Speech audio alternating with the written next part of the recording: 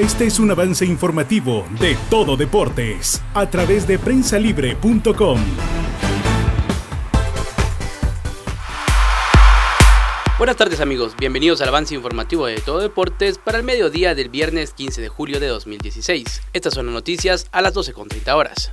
La comisión arbitral definió a los silbantes que impartirán orden en la primera jornada del torneo Apertura 2016, que comienza este domingo. Para el partido entre Suchitepeques y Marquense, el árbitro designado ha sido Óscar Juárez. Dicho encuentro se disputará a partir de las 11 de la mañana. Mictlán Carchá también será a las 11 horas y el central será Julio Luna. A las 11 y media jugarán Antigua contra Guastatoya e impartirá el orden Eder Quinom.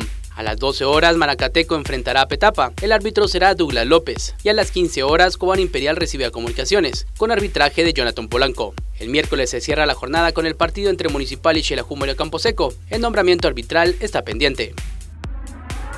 Nos trasladamos a España. El central francés Samuel Umtiti cumplió este viernes su sueño de vestir la camiseta del FC Barcelona en una presentación agridulce con su nuevo equipo por los atentados ocurridos en Niza la noche del jueves. Aunque para mí es un día de felicidad, siento mucha tristeza por esta noticia. Hay muchas víctimas, estoy muy triste por todas esas familias afectadas, aseguró Umtiti cuya presentación comenzó con un minuto de silencio por las víctimas del atentado. Aún así, el jugador francés de 22 años, que se enfundó la camiseta azulgrana y dio algunos toques de balón en el estadio frente a centenares de aficionados, no escondió su alegría por haber cumplido su sueño.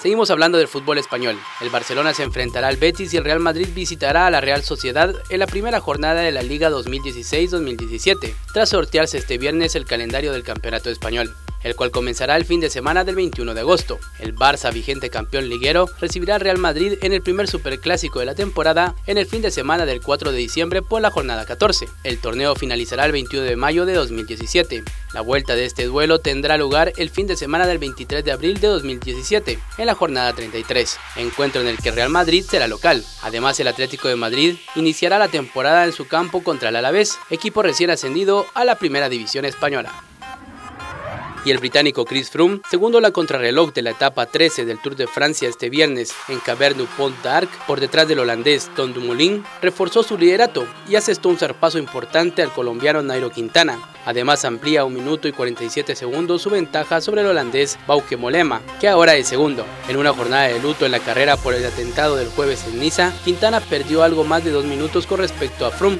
quien es defensor del título y del que queda a casi tres minutos en la general, donde el colombiano es cuarto. Y los invito a seguirnos con más información deportiva en Twitter, arroba tododeportes-pl.